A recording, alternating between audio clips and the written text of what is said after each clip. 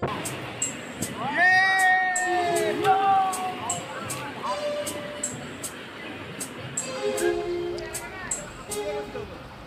আগষ্টৰ দিনা শশাংকৰ চাৰি বন্ধুৱে শশাংকক লগত লৈ বুঢ়ীগাঁও নদীত কিদৰে পানীত জল গেলি কৰি আছিল তাৰ ভিডিঅ' আহি পৰিছে গহপুৰ হেডলাইনছৰ হাতত।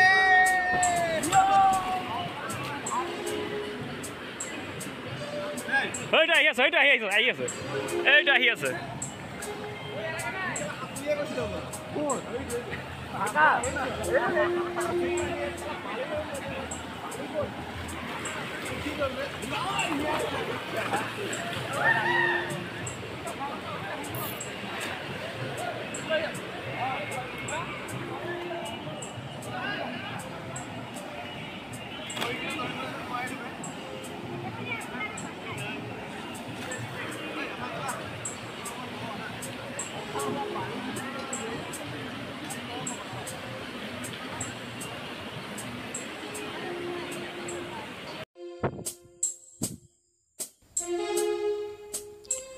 বুঢ়ীগাঁৱত লৈ মৃতদেহ উদ্ধাৰ হোৱা শশাংক কটকীৰ পত্নীক আৰক্ষীয়ে গ্ৰেপ্তাৰ কৰাৰ পিছতে এতিয়া ওলাইছে ন ন তথ্য।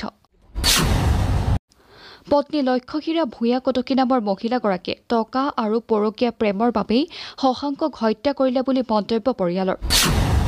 মাটি বেছি যিখিনি বাইছ লাখ টকা পাইছিলে সেই টকাখিনিয়ে কাল হ'ল। আৰু এ, শুনিছোঁ সেইদিনাখন চেক এখনৰ কাৰণে কাজিয়া হৈছে। চেক মানে আহিলে তাই হাত কৰি লয়। লৈ টকাবোৰ হেনো শুনামতে যি টি ব্যৱহাৰ কৰিছে তাই বন্ধু বান্ধৱক বাইক কিনি দিছে কিবা কৰি দিছে। সেই টকাৰ কাৰণে তাই নিজৰ স্বামীক হত্যা কৰিবলৈ কুণ্ঠাবোধ কৰা নাই বুলি আমি ভাবিছোঁ শশাংকৰ পৰিয়ালৰ মতে পত্নী লক্ষ্যহীৰা আছিল উচ্চাকাংক্ষী। নতুন নতুন বাইকৰ প্ৰতি আছিল দুৰ্বলতা।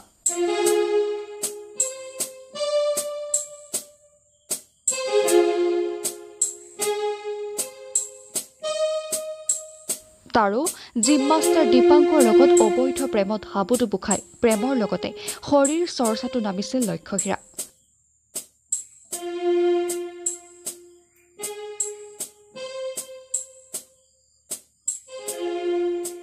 তাই এই জিমলৈ আহে জিমৰ কোনোবা মাষ্টৰ এজনৰ লগত তাই ফটা ফটো উঠি উঠি মানে ছ'চিয়েল মিডিয়াত দি দি থাকে। দীপাংকৰৰ লগতে সম্পৰ্ক আছে। আজি ৰাতিপুৱা তাই সেই দীপাংকৰৰ জিমলৈকে আহিছে ডিম- দীপাংকৰ হেনো জিমৰ মাষ্টাৰ তাই তেওঁৰ গুৰিলৈকে তাই আজি জিমলৈও আহিছে। তাই যদি নিজৰ স্বামীটোক তাই মৰাই নাই একো কৰাই নাই তাই কালি ল'ৰাটো মৰাৰ পাছত তাই আজি কি কাৰণত তাই জিমলৈ আহিব পাৰে? তাইতো আমাৰ গুৰিলৈহে যাব লাগিছিলে। বুলেটখন কিনি দি তাইহে বুলেটখন চলাই ফুৰে মানে।